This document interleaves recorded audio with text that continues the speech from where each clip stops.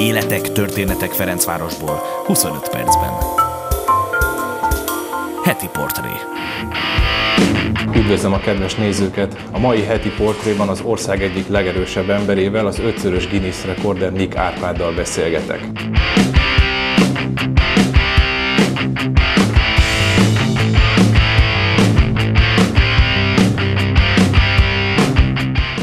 Gyerekkorodban is az erődet használtad, és valamennyire érezted, hogy ez lesz a te utad, hogy az erőddel fogod megmutatni magadat, mik voltak az első próbálkozásaid? Valóban a sport határozta meg az életemet, talán már a szüleim így akarták. Van nekem még két testvérem, két fiú testvérem, örökké az utcán voltunk. Rákényszerültünk, hogy kint az utcán töltsük a szabadidőnket, és ott igen, keményen berekedtünk, birkoztunk, dobáltunk, és nem véletlenül, hogy a dobálásból, egy egyszerű mezei dobálásból gerelyhajító lettem. Felfigyelt a testnevelő tanárom, hogy az Árpinak milyen jó hajító készsége van. Átdobja a kislabdát a másik iskola udvarba, ami körülbelül 70-80 méterre volt.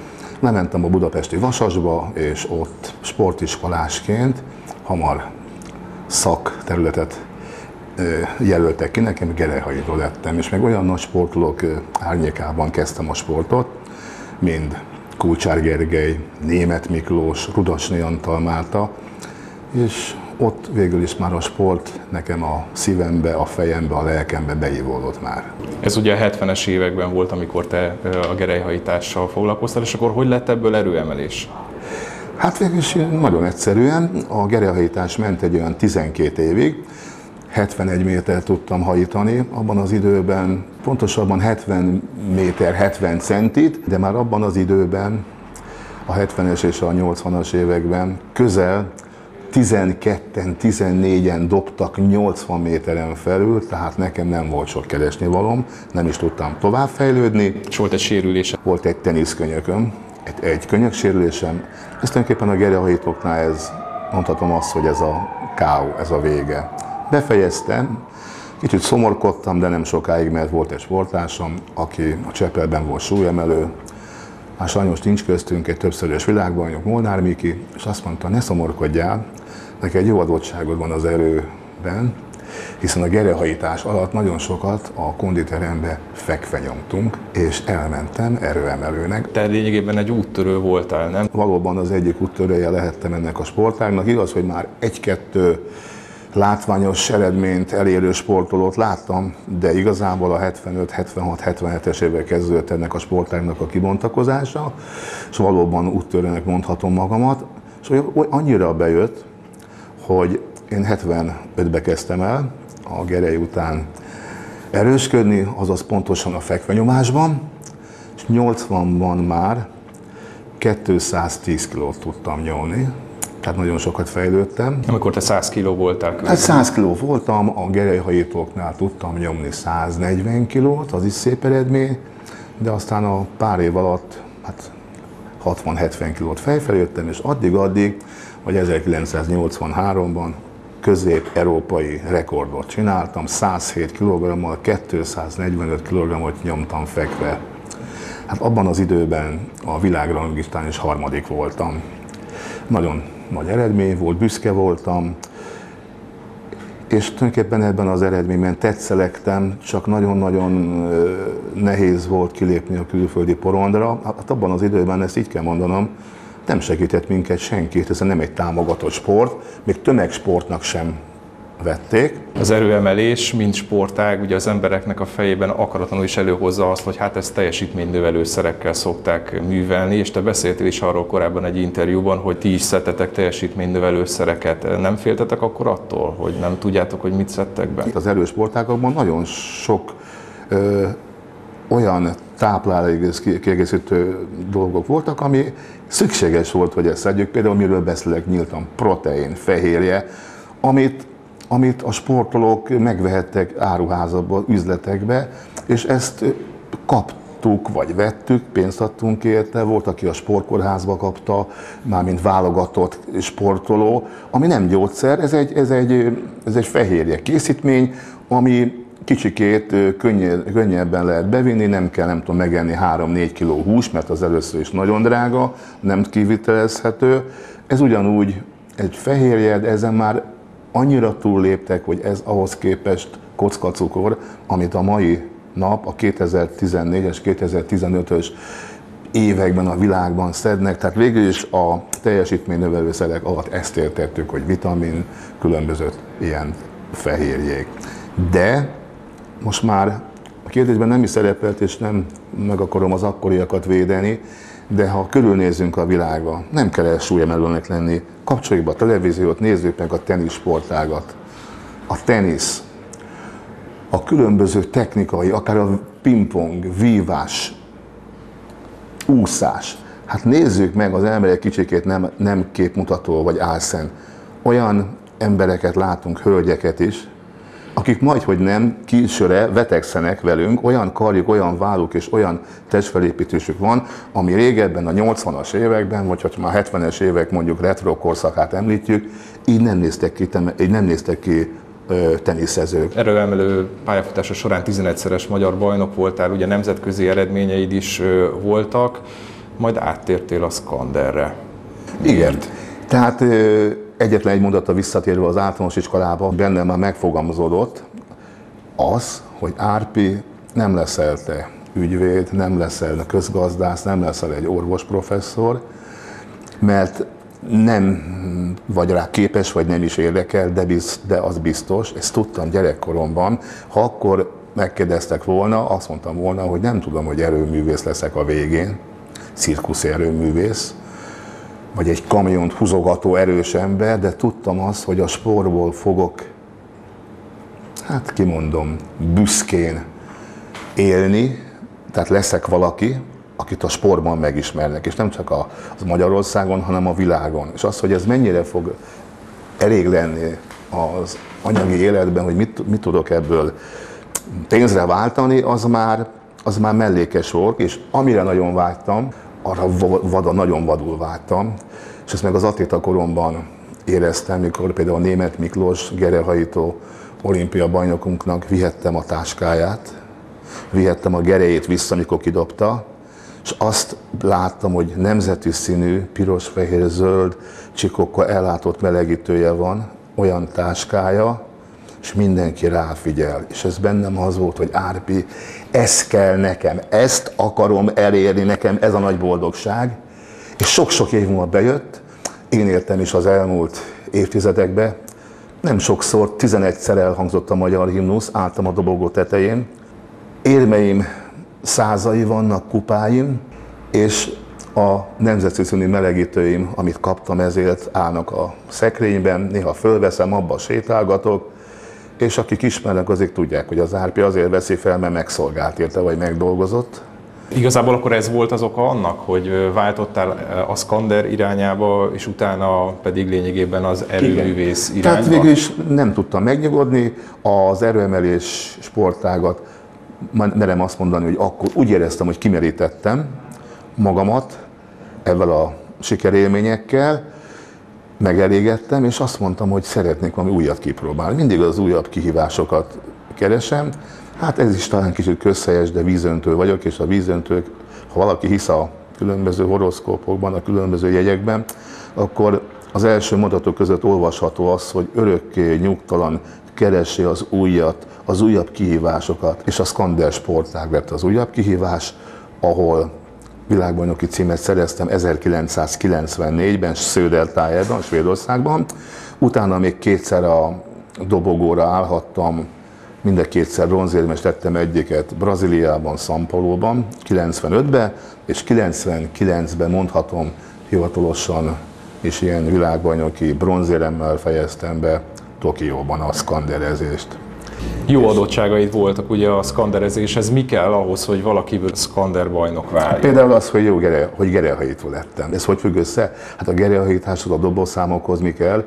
Gyorsaság, robbanékonyság. Bocsánat, egy kicsit, nagyon robban, nem, nagyon robbanékony vagyok. Már nagy maci vagyok, 62 éves, de ezt, amit nem lehet, erőt lehet fejleszteni, erőt, Technikát mindenképpen lehet tanulni, de robbanékonyságot azt nem lehet tanulni. Az vagy van benned, vagy nincs. Tehát az, az, az adottság volt, és ezt mindig ki tudtam használni. Tehát amikor nyertem, vagy dobogon, hát igen, mikor nyertem, akkor annyival voltam jobb, nem is technikában, nem technikában, hanem gyorsabb voltam. Sokkal gyorsabb voltam, mint a többiek. Szerencse is volt. Szkannerozhatok egyet veled? Persze. Mindig közelebb tesszük a könyökünket, hüvelyküljünket tessék kimutatni, látjuk, most ráfogunk, ráfogunk, közül a kéz, van, egy, van, há, van két asztalbíró, van Aha. egy harmadik bíró, a lábakat figyelje, és van egy vezényszó, ready, go. És mindenki arra törekszik, beállítja a bírót, persze minden szenten maga felé hagyják a kezén. Ide szeretném már hagyítani, te meg oda. Igen.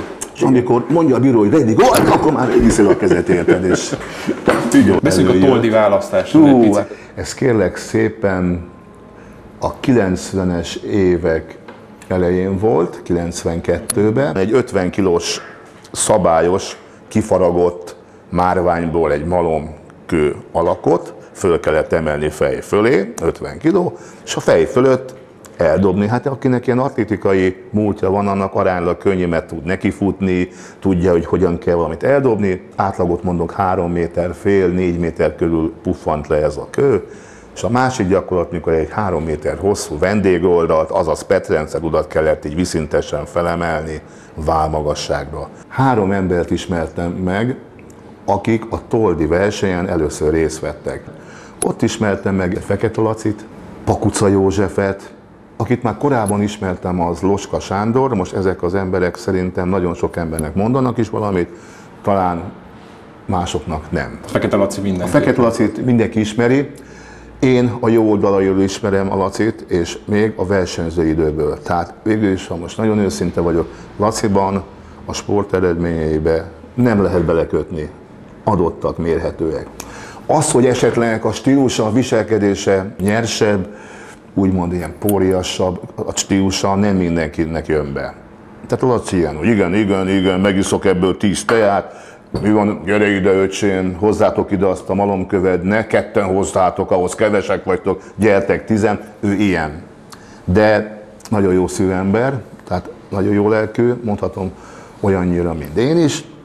Hát látom az erős emberek, vannak kivételes a szabályt, jó lelkűek és jó szívek, Laci is az, de sokan nem szeretik valóban, mert kimondom, nagy pofája van, nagy pofájú, megmondja az igazat, meg hát szereti magának a hangját hallatni. A másik erős ember a Pakuca Józsi, aki szintén skanderozott. Loska atléta volt, kalapácsvető, most is atléta, már senior masters. Most négyük közül én vagyok a legidősebb. Én vagyok 62 éves, a Laci egy 5 évvel fiatalabb, és a többi említett versenyző az is ilyen 5-8 évvel fiatalabbak. Hát én vagyok talán a legöregebb, aki elküldheti őket gyufáért. És akkor lényeg az, hogy a Fekete Laci, a Loskasanyi, és jó magam is elnyertük ezt a tordi versenyt háromszor. Örökös tordinak hívnak minket. Öt Guinness rekorddal rendelkezel, és akkor egy picikét még ennek az előzményéről beszéljünk. Hogy talál ki az ember olyat, hogy én el szeretnék húzni egy repülőgépet, vagy egy kamiont a fogammal? Kerestem hogy milyen erőgyakorlatok vannak a világban, és nem is olyan szándékla, hogy én megelőzzem, csak mik vannak még érdekességek, mert ez a Guinness könyv létezett. És akkor láttam, hogy egy ausztrál fickó, az is tetszett, hogy egy volt atléta, egy volt kalapácsvető repülőgépet húzott el, 100 tonna fölötti gépet, de nem foggal, csak itt testtel, hevederrel. Hú, ez tetszett, és akkor elhatároztam, hogy ezt én is elvileg megcsinálhatom. Milyen speciális edzésmunkát követel meg az, hogy képes legyél elhúzni egy nyerges vontatót, vagy egy repülőgépet, vagy bármit a fogaiddal? Szükséges volt az atlétikai múltam, ahol a speciálisan megerősödtem, lábaim, izületeim, ez szükséges, és utána meg az erőemelésnek a gyakorlatai, amit a mai napig végig csinálok, tehát súlyt emelek. Erőemelő gyakorlatokat végzek, fekvenyomok, googolok súlyjal, súlyfelvételeket csinálok. Tehát ebből gazdálkodok, tehát ebben szerzem meg azt az erőt. Amikor egy tárgyat elhúzunk egy kamiont, ez átlagban egy nyerges mondható 7-8-9 tonna, ez a kamionnak az a feje, amire rácsatolják a pótot. Ehhez mit kell jól csinálni, vagy nagyon erősen? Googolni súlyan, hogy a láb erős legyen, meg a hátad a törzsed, illetve a húzó erő, hogy húzod a tárgyat, mert sokan kérdezik, hogy Árpi bácsi, hogyan tudja a fogával elhúzni, mert sokan nem értik, hogy foggal, de szó szerint úgy értik, hogy a foggal megfogom és elhúzom. Hát aztán lehet, hogy csak én magyarázom túl, mondom, kisfiam, a fogaimmal azt a kötelet húzom, vagy fogom, arra szorítok rá, mint egy kutya, egy pitbull kutya, amit ráakasztunk karabinerrel a vonószegre, és Árpi bácsi lépked hátrafelé, megyek hátrafelé, a lábam, a hátam az alaperő, ezzel csak tartom, tehát a fejjel mit tudok húzni 30 centit, hát az menni kell.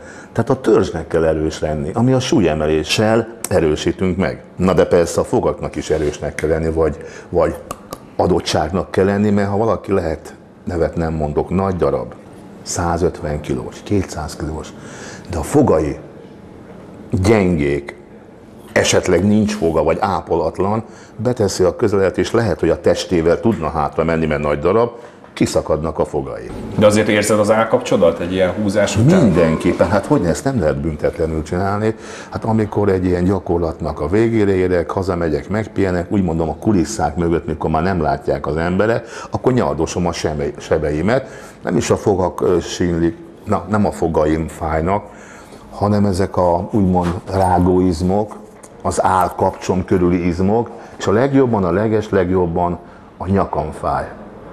A hátul ezek a bicentő izmok, hiszen ebben, mikor fogom, ráfeszítek, és utána napokig szinte gölcsben a nyakam. Tehát most már mondta a, az orvos, itt voltam én már ilyen vizsgálaton, hogy tiszta el van messzesedve a, a nyak, nyakam. Egyszerűen kifejezve, de hát végül is ez benne van a pakliba.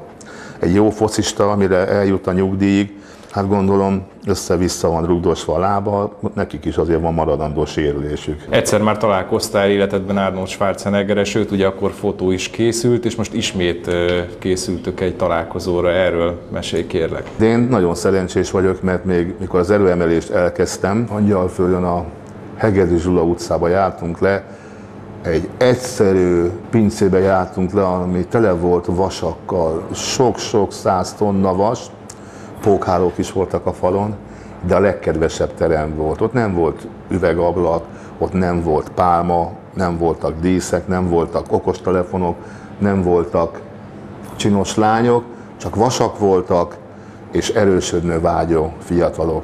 És a falon több tucat fotó volt, kiről másról, mint Arnold Schwarzeneggerről, és akkor még abban az időben emlékszem, hogy egy ilyen fekete hát ilyen diplomata táskához hasonló, ami táska volt, amit vittem a iskolába, és a táskának az oldalán, mind a két oldalán hatalmas Arnold Schwarzenegger, ilyen fekete-fehér újságból kivágott képet ragasztottam rá, még ilyen technokó ragasztóval. És akkor nem mertem még álmodni se, nem is gondolhattam, hogy egyszer évek múlva, vagy évtizedek múlva összehoz a sors, hogy ezzel az emberrel legalább kezet foghassak, vagy a vállát átkarolhatom. Hát erre nem kell sokat úgy várni, mert amely, e, itt forgattak egy magyar háttérrel egy filmet, ez a Vörös Zsaru volt, ahol nagyon sok ilyen erőemelő, fiatal, mert egy, egy gőzfürdőbe volt edzett, vasakkal, és akkor, mint statiszta engem is elhívtak sokak magunkkal, és ott tényleg a forgatás szünetében nem csak én,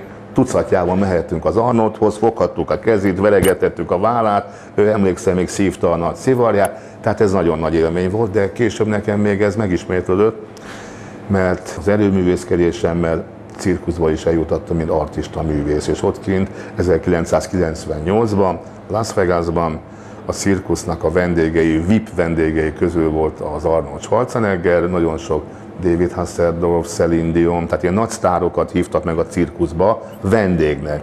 És ott az ottani artistával, ha éppen bohóc, ha éppen erőművész, valamilyen gyakorlat közben oda jött, és kezet fogott velünk, megveregette a vállunkat, és stb. részt vett ebben.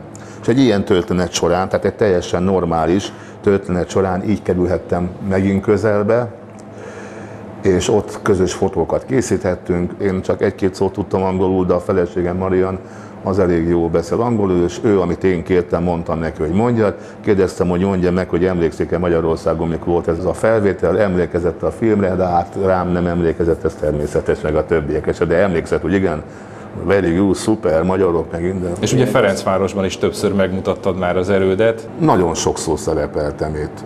Kult, Ferencvárosi Kultúrotthonban is, a, még emlékszem, Király Linda is vendég volt, és egy napon szerepeltünk a színpadon, meghívtak, ének, éneklés volt, én meg ott a Petrenc rudat emelgettem a színpadon, meg más telefonkönyveket téptem szét a gyerekeknek, mutogattam, de kint a szabadba is rengeteget szerepeltem, kamiont húztam, volt mikor személygépkocsit, mikrobuszba ültek gyerekek, tehát ez a kerület is kedves számomra, még nagyon sok kerület, de itt is nagyon sokszor szerepeltem. Nagyon, legalább tízszer biztos. 62 éves vagy, és azt szokták mondani, hogy ugye a férfiak úgy 60 éves korba kezdik el érezni azt, hogy már fogy az erejük, de te még mind a mai napig aktív vagy. Hogy éled ezt meg? Azért érzed magadon, hogy fogy az erő? Mindenképpen megérzem, hogy fogy. Hát persze, hogyha azt mondanám, hogy nem, nem fogy az erőm, akkor ez nem lenne igaz, hiszen akkor meg tudnám azt csinálni, amit régebben, hát már nem tudom megcsinálni azt, amit fénykoromban megcsináltam.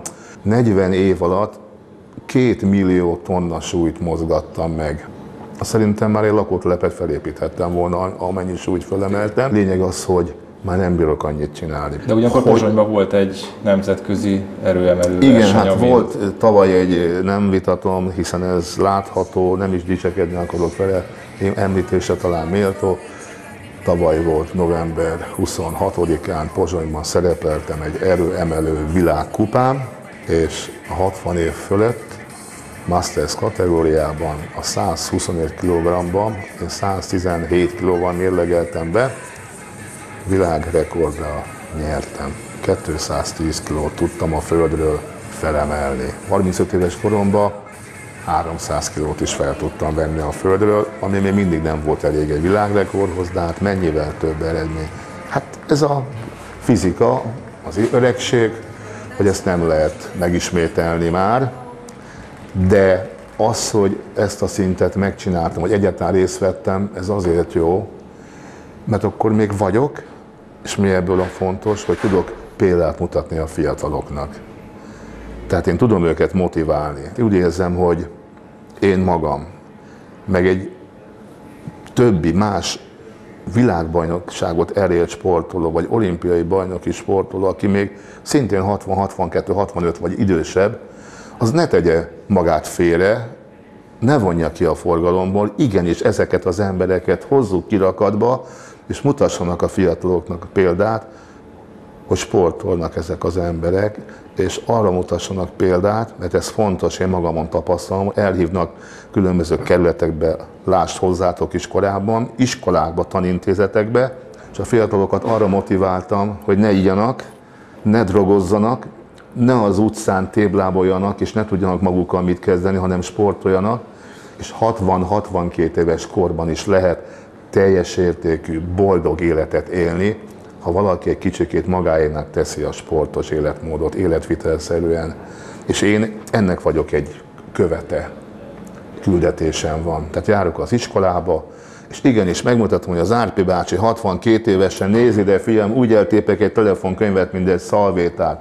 Azért, mert én otthon mozgok, sportolok, és nem cigarettázom orba, szájba, mint egyes fiatalok ott nálunk is, ahol lakom oda megyek hozzájuk, nem bántom, de kicsikét úgy kicikizem őket, hogy mit gondolsz, fiam, hány éves vagyok? 62. Akarsz 62 éves lenni? Kicsit durva? Hát persze. Na de így nem lesz a 62 éves, hogyha ott iszod ott a vörösből a padon, meg a vodkás üveg, ilyet látok. És akkor egy kicsit mosolyognak, az is lehet, mikor elmegyek, kinevetnek, de azért van nyomot hagytam bennük, mert egy-két gyereket elvittem sportolni, birkozni, atletizálni. Tehát tudok rájuk hatni, és bevonnak a, a kerületek sportületébe. Van egy 28 éves fiam, és hogyha ezért, csak ezért volt érdemes mindezt elérnem, akkor boldog ember és boldog apa vagyok.